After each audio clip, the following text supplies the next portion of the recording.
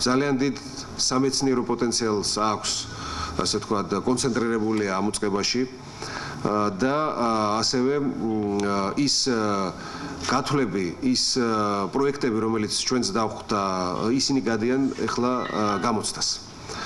თუნდაც წვრთნებში გამოყენება იმ საბრძოლო ტექნიკის იმიტომაც იყო გადაწყვეტილი რომ ჩვენ ნახოთ კიდევ ერთხელ შევამოწმოთ რამდენად წვრთნებში ადეკვატურ ხარდაჭერას აღმოუჩენენ ჩვენ მეომრებს ამ ტექნიკით გადაადგილება და რამდენად დაცულები იქნებიან ოპერაციების წარმოების დროს. მიმდინარეობს მათი ჯავშანის გამოცდა.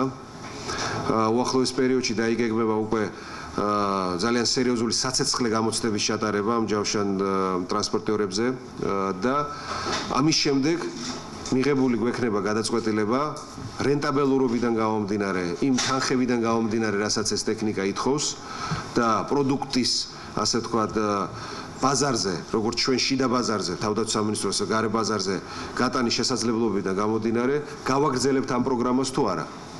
რა თქმა უნდა, იყო პიარის და ასე ვთქვათ, სუსტრაფობის ელემენტი, როდესაც გამოამზეურეს ეს ტექნიკა ნაადრევად, მე ვიტყოდი, ვიდრე გამოცდები იქნებოდა ჩატარებული.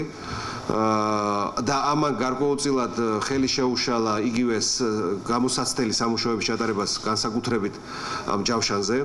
მაგრამ ჩვენ ვაგრძელებთ ეხლა მუშაობას, რომ დაზუსტდეს და კონკრეტდეს რამდენად შესაძლებელი არის, რომ ეს ტექნიკა ავიყვანოთ სერიულ წარმოებაში. ამას დაჭირდება ცოტა მეტი დრო, იმიტომ რომ ჩვენ ზუსტად უნდა ვიყოთ დარწმუნებული თუ რას ვაძლევთ ჩვენს თანამებრძოლებს. ისეთი რამე არ უნდა განმეორდეს, რაც მოხდა, როდესაც შეიძინეს პირადი მოხმარების ინდივიდუალური ჯავშანჟილეტები და წინასწარ იცოდნენ მილიონებით გადაიხადეს ჩვენი სახსრები და იცოდნენ, რომ ის არ იყო გამოსადეგი და არ იცავდა ჩვენს ჯარისკაცს. ან ესეთი შეცდომების ან განზრახ, ასე ვთქვათ, გადაწყვეტილების მიღების ფუფუნება ჩვენ არა გვაქვს, ძალიან მკაცრად კონტროლირდება სპეციალური სტრუქტურების მხრიდან, მათ შორის კონდაზორით სამსახურის მხრიდან, ჩვენ ინსპექციის მხრიდან, თუ როგორ მუშაობს ეს ეს სტრუქტურა, აქედან გამომდინარე მე შეცდომის დაშვების შანსებს მინიმუმამდე დავიყვანდი. პოტენციალი გვაქვს, შესაძლებლობა არის, აქედან გამომდინარე დაინტერესება პოლიტიკური ნება არის.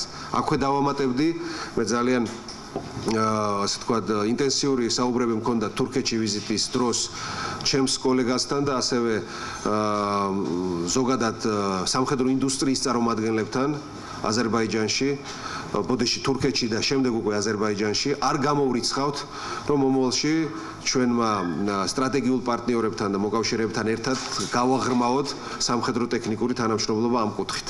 ბუნებრივია, თუკი გაიარა ყველა ტესტი ჯავშანის ტესტის მათ შორის იქ გვაქვს გარკვეული ასე ვთქვათ ხარვეზი გამოსასწორებელი გამწეობასთან ძრავასთან დაკავშირებით და ასე შემდეგ. აა ჩვენ შერეგებაში ავიღებთ ამ ქვედა ქვედა ნაყოფების შერეგებაში ამ ჯავშან მანქანას. მაგრამ ვიდრე ეს არ დასრულდება ფიქრიც კი იმაზე ჩვენ საბძოლო მოქმედებებში გავუშვათ ჯავშან მანქანა ამაზე არც არის ჯერ უნდა დასრულდეს ჩვენ უნდა ვიცოდეთ ზუსტად რომ ეს ჭირდება ჩვენ ქვედა ნაყოფებს და რა თქმა უნდა არის შესაბამისი ასე ვთქვათ შესაბამისად შეჯავშნული რომ დაიცვას ჩვენი ქვეითები თავდასხმის